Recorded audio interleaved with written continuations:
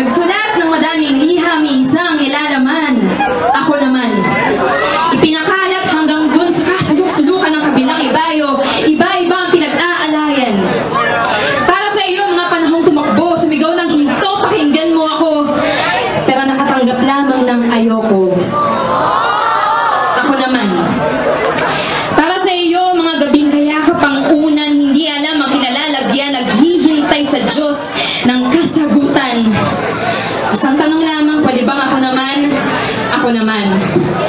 Para sa iyo, mga panahong iniintindi ang mga bagay na iba sa sariling prinsipyo, sinasara ang utak sa, tama ba itong ginagawa ko? Shhh! Ako naman.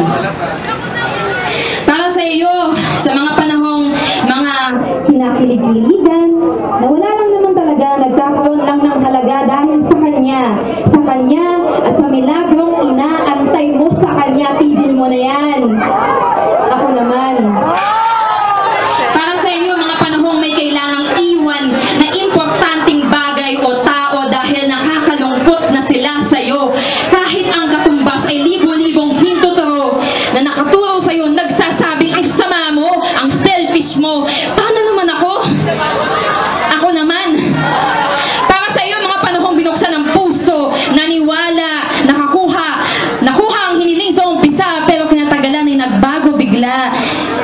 Hindi pala kita gusto.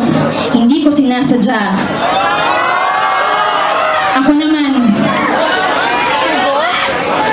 Para sa iyo, mga panahong iniwan dahil sa mga rasong di inaasahan, walang experience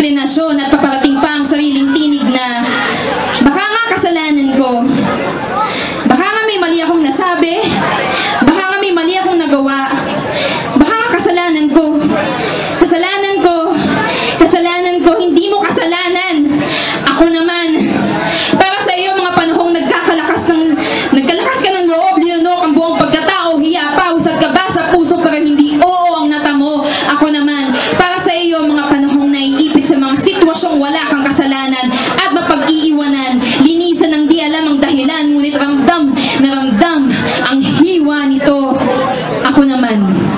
Para sa iyo, mga panahong harap-harapan kang ginagago, kaibigan lang, friends lang kami. Isang lihim na pambabastos, magbubuntong hiningang tatalikod dahil ngayon, ako naman.